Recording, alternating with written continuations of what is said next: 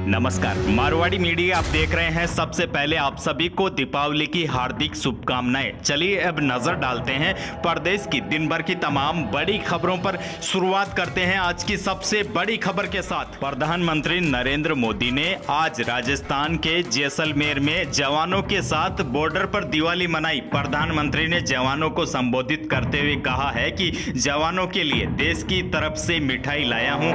उन्होंने लोंगे वाला पोस्ट से जवानों को संबोधित करते हुए कहा है कि हर किसी के जुबा पर लोंगे वाला पोस्ट है। सेने कुशलता के इतिहास को जब भी याद किया जाता है तो लोंगे वाला पोस्ट की याद आती है। पीएम मोदी ने कहा है कि पूरा देश वीरों की गाथा सुनकर अपने आप को गौरवान्वित महसूस करता है। देश को अपने वीर सपूतों के बलिदान पर गर्व है। भारत के जवानों की बराबरी कोई नहीं कर सकता। भारतवासियों को अपने सेना की शौर्य पर गर्व है। वहीं आपको बता दें पीएम नरेंद्र मोदी ने लोंगेवाला पोस्ट से चीन और पाकिस्तान को कड़े शब्दों में चेतावनी दी है। पीएम मोदी ने कहा है कि किसी ने आजमाने की कोशिश की तो उसका प्रचंड जवाब मिलेगा। एक और बड़ी खबर आपको दे दे भारत पाकिस्तान अंतर्राष्ट्रीय सीमा पर चल रहे तनाव और आतंकी गतिविधियों और दिवाली के त्योहार के मद्देनजर खुफिया एजेंसियों ने देश भर में हाई अलर्ट घोषित कर रखा है, जिसके चलते राजस्थान में भी खुफिया एजेंसियाँ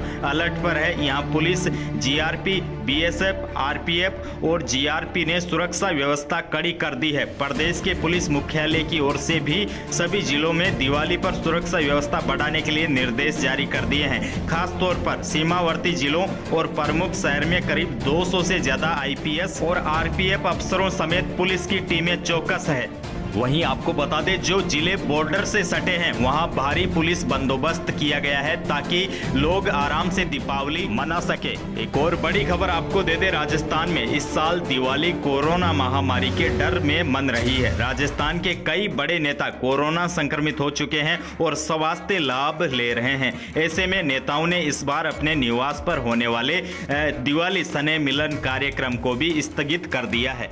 एक और बड़ी खबर आपको दे दे, वर्तमान समय में कोरोना नामक बीमारी से बचने के लिए लोग सैनिटाइजर लगाते हैं। ऐसे में दीपक जलाने या पटाखे जलाने से परहेज रखें, क्योंकि सैनिटाइजर में 70 प्रतिशत एल्कोहल होने के कारण यह अति तीव्र ज्वलनशील भी है। इससे आग लगने का खतरा कई गुना ज़्यादा बढ़ सकता है। चलिए बात करते हैं, प्रदेश में धूमधाम से दिवाली का त्योहार मनाया जा रहा है। हालाँकि पटाखों पर रोक है इसके बावजूद भी कई जगह है वो दिवाली पर लोग है, वो पटाखे फोड़ते नज़र आ रहे हैं। तो यह थी प्रदेश की आज की बड़ी खबरें। आप और आपके पूरे परिवार को एक बार फिर दीपावली की ढेरों ढेरों ढेरों सारी शुभकामनाएँ। धन्यवाद।